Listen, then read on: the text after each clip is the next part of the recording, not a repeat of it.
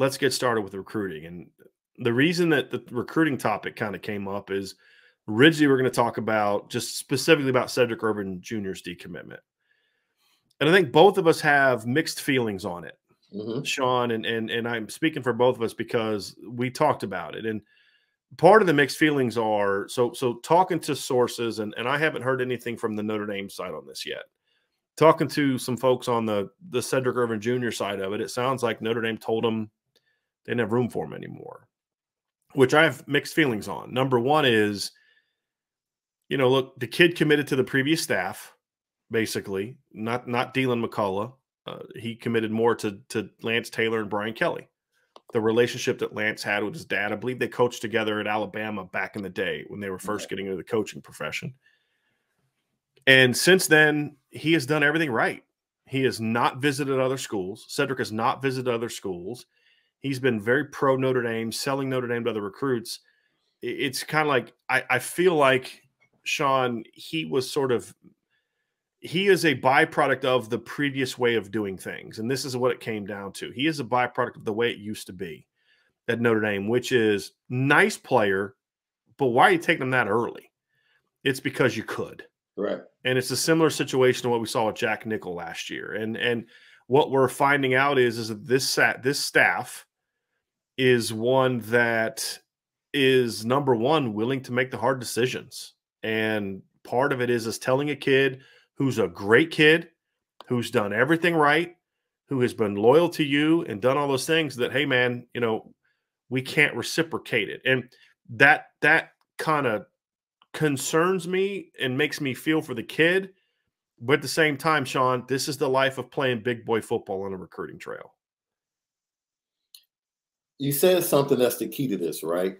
Because we both feel and understand both sides of this coin the fact that this staff was not the staff that originally recruited him made it a lot easier for them to come to this decision and probably have this conversation, which I would probably lean more to the side of the staff to say, okay, if you're going to establish the ground rules or the way you're going to do things, this is this is the conversation you have to have with this young right. man and you have to be honest with them. And then you set the standard, you take the hit, but going forward, it's obvious the direction. The entire staff knows how we're going to operate. Right.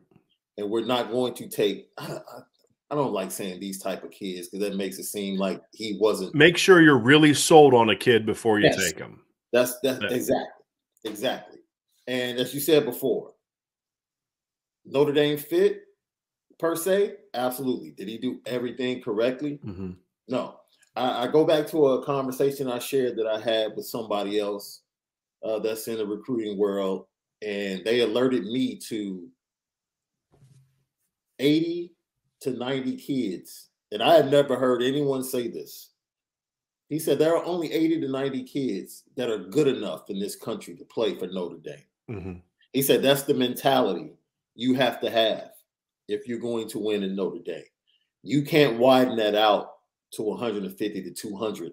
Right. Because those are the same parameters for an Iowa State. Right. Or Kansas State. Like if you're trying to win a championship, there are only a certain amount of kids that are good enough to play on your team. Right. And I think that's the parameters that this coaching staff is really trying to put in place now. Establishing this is the level of play we want our players to be at when we recruit them. And unfortunately, you're going to see some guys that we can look back in the past and say to ourselves, you know what? That kid was a three star when he committed to Notre Dame, and he gave Notre Dame four really good years. Yes. And I love the way he turned out. I love right. the way he even if he wasn't a great player. Absolutely. Like and we're not talking about the three stars like Kyren Williams who end up playing like I mean becoming all Americans. We're talking about the kids that like Trevor Ruhland. Mm-hmm. Right. I mean, Trevor Ruhland was a spot starter at times, but you know, like that kid was a really good piece to your to your equation for five years. You know, yeah. five years even. You know, and and and there's a need for kids like that. But yeah. you've got to be careful that those kids aren't being brought in at positions where you have a, a smaller number of players, running back, quarterback, mm, safety, yeah. right? you know the the because you're you're going to have smaller numbers at those positions than other positions, Sean. And uh, there was a question from John A. One that I want to address. That's part of this conversation too. He says Tommy Rees was OC when he committed. Was he not involved at all in Irvin's recruitment? No. His the decision to take Sedrick Irvin was made by the running backs coach and the head coach. That's basically how that went down. And, and there's the other side of the coin is Sean is people say you know you're you're, you're there was a, a, question that John DeCristio said or a comment that he made and, and I think it speaks to I think how some people feel. It's loyalty yeah. not returned is just not right. Don't like it. Our word should be our word. And and I think there's a lot of value to that comment from John. However what my my question is what is what is better for the young man that you tell him now before he's taken any officials. He's got plenty of time to get his recruitment done. Do you do yeah. it now? Do you just keep loading up at running back and then force him out, which is what they did with Jack Nickel last year? It's supposed to, hey, Jack, we don't have a spot for you. They say, hey, we're going to still take you, but we're going to keep recruiting more running backs. Notre Dame was honest with Sedrick, from what I'm told. Whether you agree with it or not, that's a different. I mean, there that people can have legitimately different views on that that I respect. But what is better to tell him that, hey, we don't have a spot for you, or to bring a kid into your team knowing you don't think he can play for you, knowing that you're going to out recruit him in this class and next year's class, and then what? He leaves in a year or two? Yeah. Like what is what is the better thing for them, right? And look, if he showed up and he outplayed other guys, that's they're going to play him. They're not going to be like, well, we're not, you know. But it just he's not that guy right now in their view. Mm, some people may disagree with that. But eh, that's the it's just it's not a simple answer as your word is your word. It's not that simple. Because you sticking to your word, it's like okay, but I don't feel that way anymore. You know what I mean? Like it's like staying in a relationship that you're not happy in just because, you know, you feel obligated is not healthy for either one of you, right? right? Right. And then you only increase the heartbreak down the road when ultimately it doesn't work out, you know? And and so in, and this is a relationship like that is do you tell the kid the truth now or do you stick to your word which is important. I probably shouldn't do air quotes because it is important. Your word needs to mean something. Absolutely. But at the same time, when when circumstances change and you don't view that kid as someone who can play for you, do you bring him in anyway to keep your word or do you sit down and say hey look here's the reality of it you're just you're just not a guy that we see in our plans so i, I don't think it's as easy of a of a decision as maybe some people think sean i do think it's a more complicated issue than people than people is think. this an easier conversation because of course we're getting it from one side right now mm-hmm. we've yet to hear the other side because yeah. the conversation could have i'll just go ahead and just play it out, you know, how the conversation could have gone. The conversation could have been we're we we signed Jadarian Price. We already have a full running back room. Uh, mm-hmm. Uh, we have Jayden Limar that we're still recruiting. We got Richard Young and we had Jeremiah Love. Right. These are three guys we really like, and we're recruiting all of them. Now, right. the way things are now, you can transfer in a year if mm-hmm. you come in and play. But why would you waste that year when you can go, go and have early impact at a program? If we release you right now, give you that opportunity to go find that team. Like we love you, we offered you, mm-hmm. but we're not going to stop recruiting these guys. Right. We want you to know that. Right. Now, if it's an open dialogue and his side says, "Well, we don't like that. We don't think it's fair," well, I understand that, but this is how we're going to move forward. Right. With this. If you don't like that, it's up to you. We'll let you publicly say what you want to say. Right. To talk about the situation. We don't have to say anything and you can move on. Right. Now, if they want, if they take that as they basically told us, we don't have room for you. Well, that's not what was said, but it's kind of what was implied right in a sense. Right. Now i don't know if that was directly said. That's what i was told from his side of things. No that's what that's that's what i'm saying. Right. that's what we've been right. you've been told from that side. Right. So and, that, that's and i'm working with that. yeah, yeah. and i'm working with that being the assumption whether it was directly or not because i think that's the to me that's the I think that whether it was implied or beat around the bush, I would much rather him actually done that. I, what I hate is when you just kind of we're going to force a kid out without telling him that. We're just going to keep recruiting oh, that's them. even worse. We've seen staffs do this where they just don't call a kid. That's And worse. It's like that's that's petty and childish, right? Like they told him before the official visits. Before, I mean, you know, look, I'd have been ticked if they'd have had the kid waste an official visit Mhm. and brought him up. I- Yeah. uh, that would have been right. So there's not an easy way to do this. There's not a clean way to do this. The only way to do it is honesty. And now I'm still trying to get clarification for this, but I was told that it was a face to face conversation. I don't know that for a fact, but I was told it was, which, you know, I don't think it makes it any better for Sedrick, but it says something about Notre Dame if that if that is in fact true. Again, I that's just we're all we're just working on one side of this conversation for right now.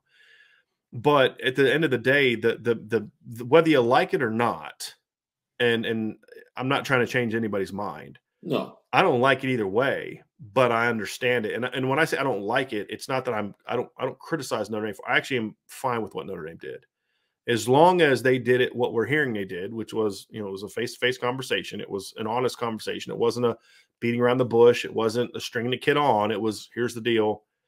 You know I don't love it. I feel for Sedrick because again, this is a kid. This isn't a kid that was taking visits to other schools. He wasn't like not communicating with the staff. He was he was coming up on visits. He was selling the program. He was doing everything that you ask a commit to do. Mhm. It's just the reality is, as you look at and say, are, are we going to win a title with this kid or not? And maybe they maybe they may regret it, but this is how they feel, and they were honest about it. And and I can respect that, even though I can also hurt for the kid because I think Sedrick is very much a Notre Dame type of kid I agree. but you're Yeah. also dealing with 85 scholarships and you're you're dealing you're trying to win championships which is why kids like that you don't take early you don't put you know that's why you should always you, you can get a kid like that later if you miss Yeah. out on Yeah. other players same thing with jack nickel you could have got if notre dame never would have taken jack nickel early and missed out on tight ends they could have flipped him for michigan state at the end of the process if he would have gone there first Yeah.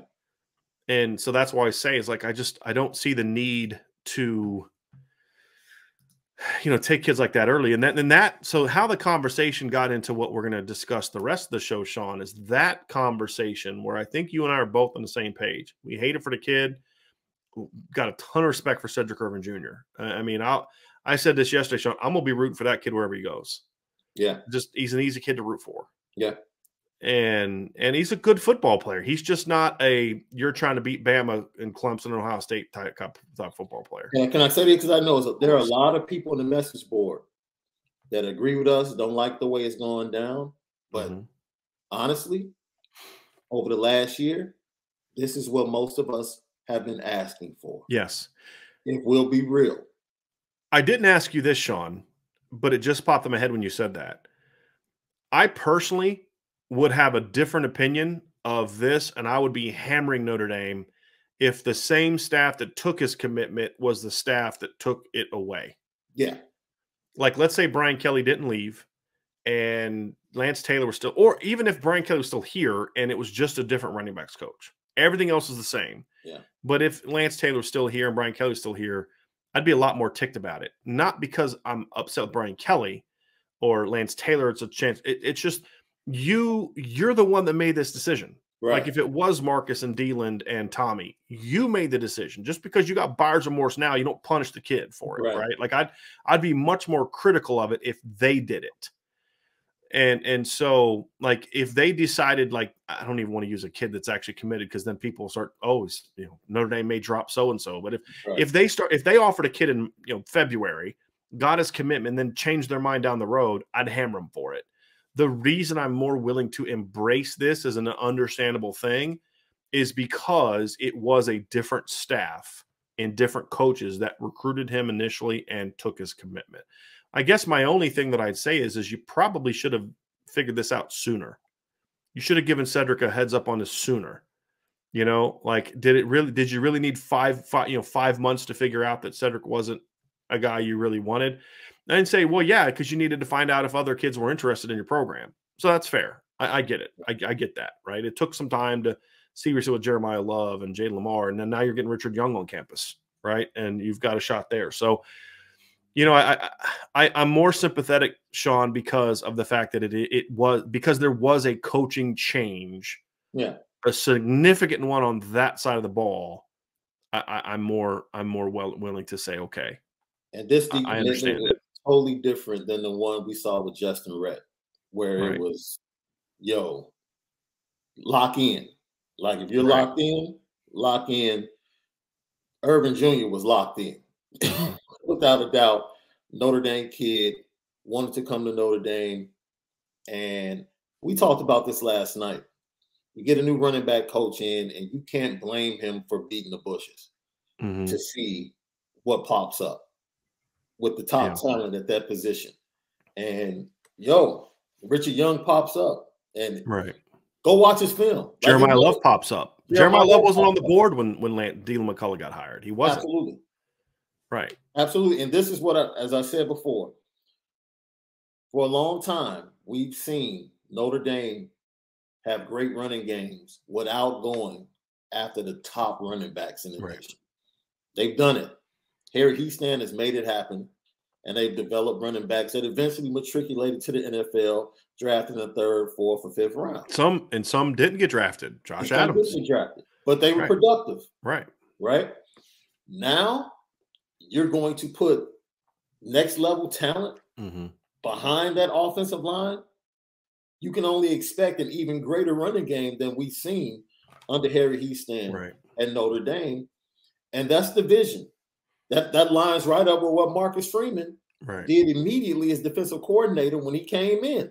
And he right. started recruiting a different athlete right. on defense than previously previously was and that leads kind of into the segue of where this conversation is going to go sean is this situation with sedrick as un, as as much of it is a bummer for him yeah and and you know I, I don't feel i understand it i don't feel great about it it's hard to feel great about a kid had a dream he wanted to play at notre dame and it was he's always said it's a no-brainer to play at notre dame and now that's gone. I, yeah. that makes my heart hurt a little bit you know yeah, what i mean? I agree.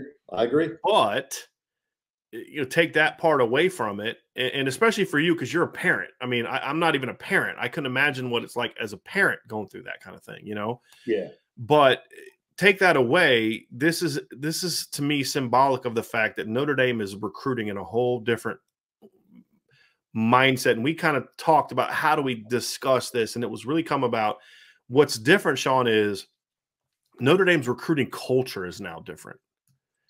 It is it is not just a oh well you're working i mean it's an it's an entire cultural change in recruiting meaning it, it it's this is a staff that has a completely different outlook on the importance of recruiting than the previous staff did. This is a staff that not only understands how important recruiting is and it's not that it's just something you have to do but something you you need to do and want to do whether you mm-hmm. enjoy it or not because love you know putting great value on recruiting doesn't mean you love recruiting. I just know that if i want to win a championship this is something i got to do and i got to do it well. Right. There's also a thought of you know the whole expression that was used previously the, the shopping down a different aisle thing. And and that's been completely like dismissed and like you know we're not doing that anymore. The aisle we're shopping down is the aisle that's going to lead to a national championship. And and so that means that some of the kids that we were getting before we're going to keep getting yeah. right? And, and and it's not just the elite players. I don't care who your coach is of course you're going to recruit michael mayer. Of course you're going to recruit kyle hamilton. You know but there's still that level of okay find those kids that maybe aren't the big time recruits that you think can become big time players right?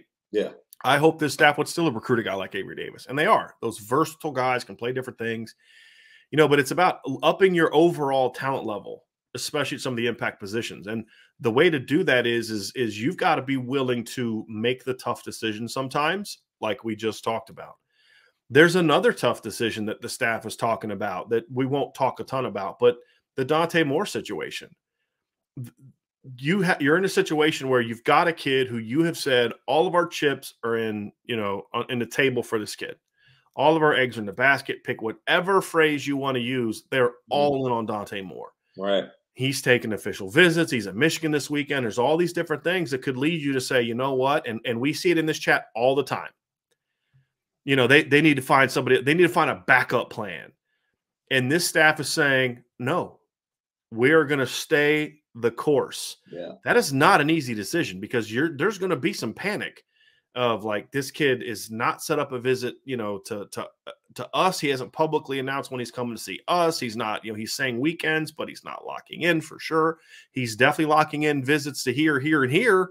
But what about us? There's a lot of things that if you aren't confident in your relationship with that kid, could cause you to overreact and say, okay, you know what, we're going to go take so and so.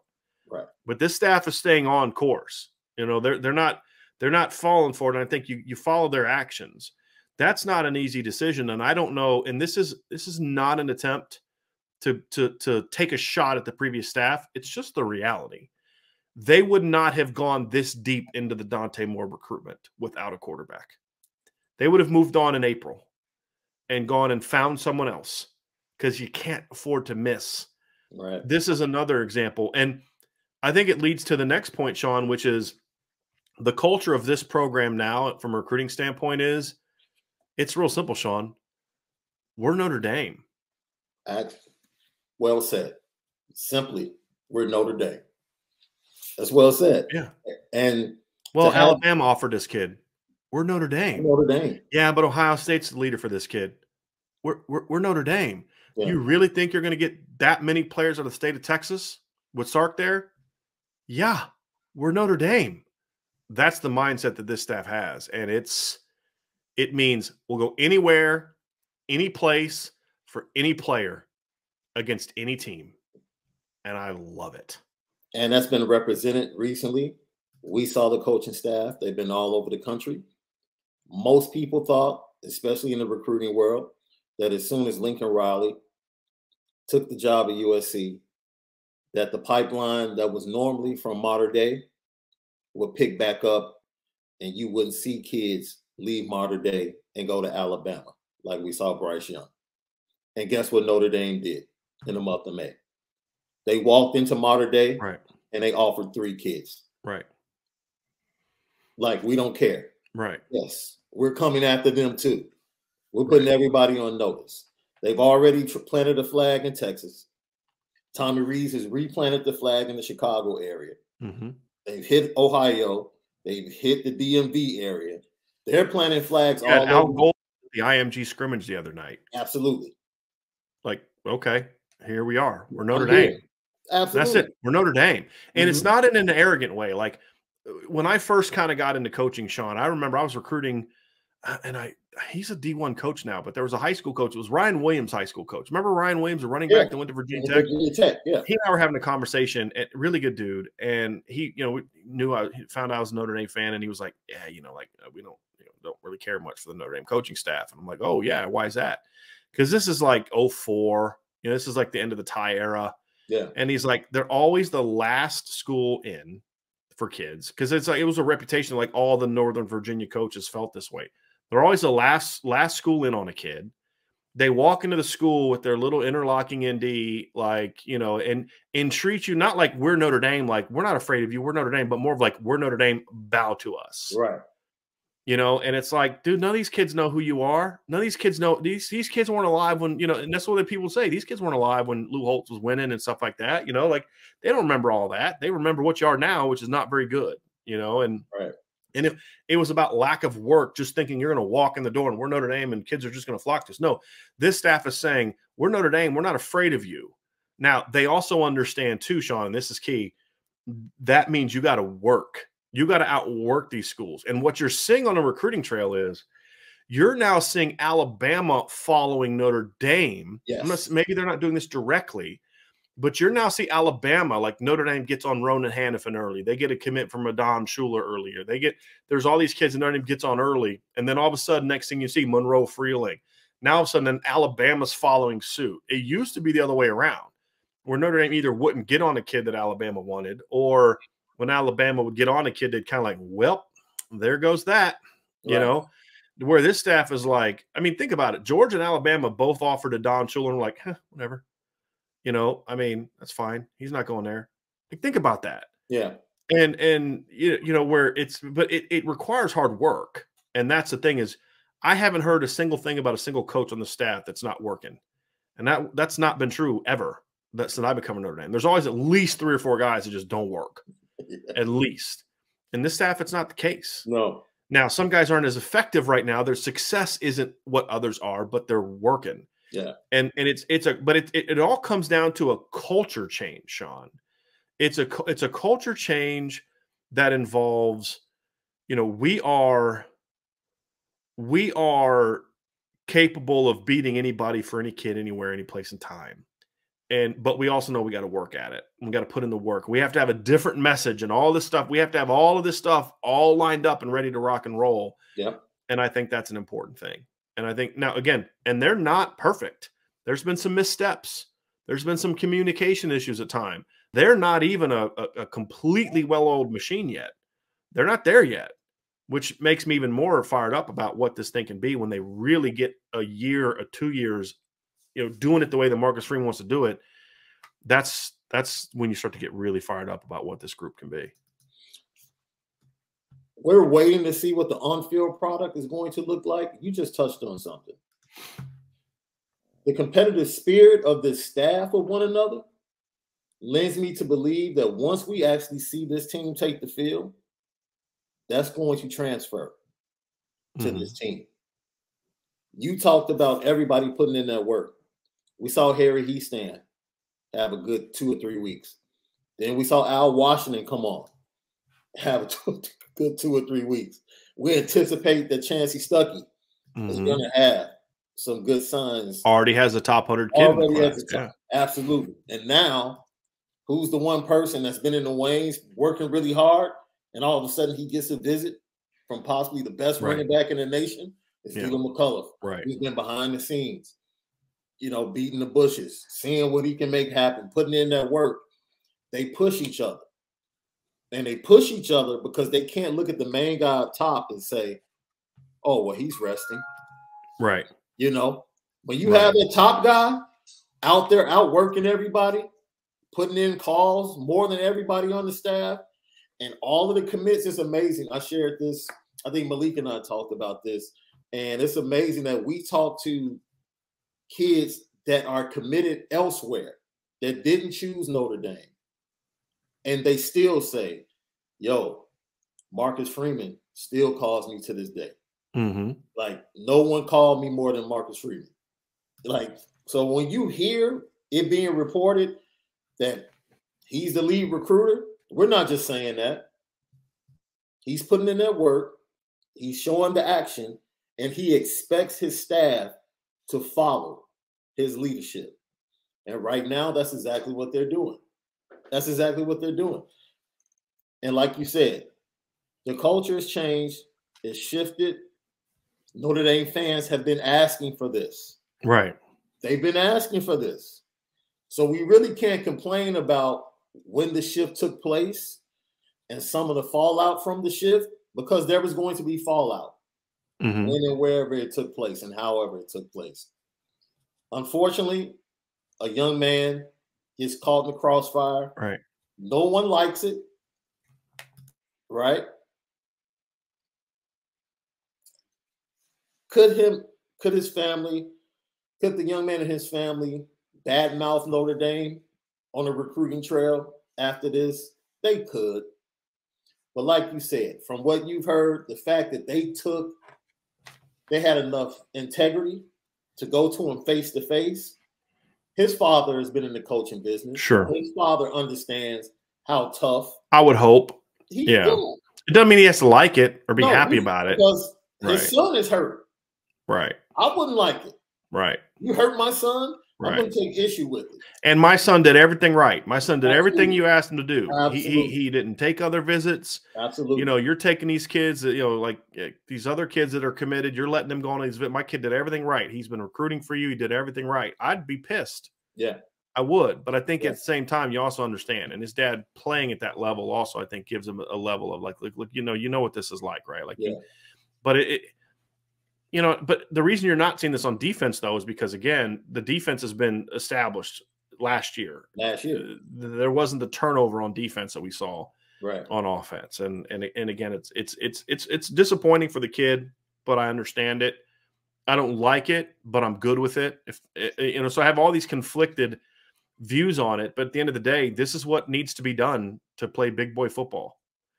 You know, and and that's the reality of it. It's just there's a right way and a wrong way to do it. I think they they did the wrong thing the right way. And when I say wrong thing, my general impression of feeling is that you if you take a kid's commitment, you honor it. I'm a believer in that. Yeah.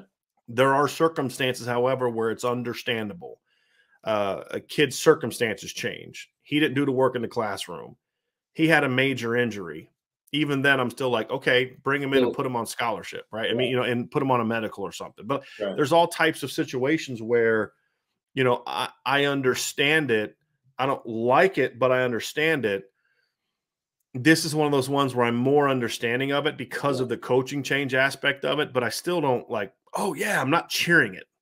I'm not I'm not celebrating it because I there's another person on the other end of this that didn't do anything wrong. He just you know perceived to be not quite to the level that they want. And we see But it still needs to be done though, Sean. That's the thing. It still needed to be done yeah. for both sides. It, it was right for them to do it, and it's good for Sedrick. It may sting now. Yeah. When he's going to a different school and rushing for a thousand yards instead of being the third or fourth string running back in Notre Dame, yeah. it's going to end up being the best thing for him. And maybe this gives him a little bit of a, an extra chip on his shoulder that he goes out and plays well. I hope that happens. I hope he finds a school where he can go and he is the guy for them. You and I were talking about this with another recruit yesterday, and I, I won't yeah. say who it is, but like, is it better for this kid to be the fourth or fifth guy at Notre Dame mm-hmm. or the number one guy somewhere else. Yeah. And in his instance and Sedrick's instance, I think in both situations, it's better for them to go somewhere else and be the guy.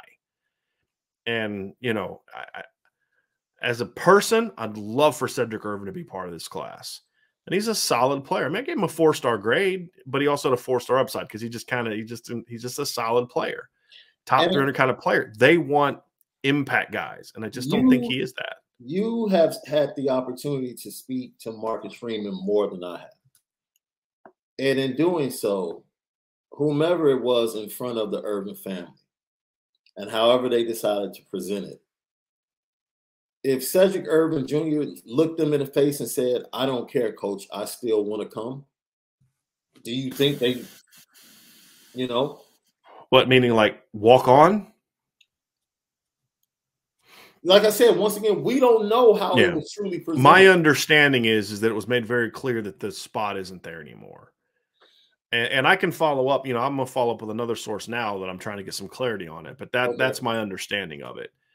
Um, it, what was it was that, you know. So, but e- even if it was that, you know, Look, like to me, you needed. I would rather be that yeah. than some sort of beating around the bush yeah. You know, try to walk the kid into the decision. Like there's because I think they've tried that.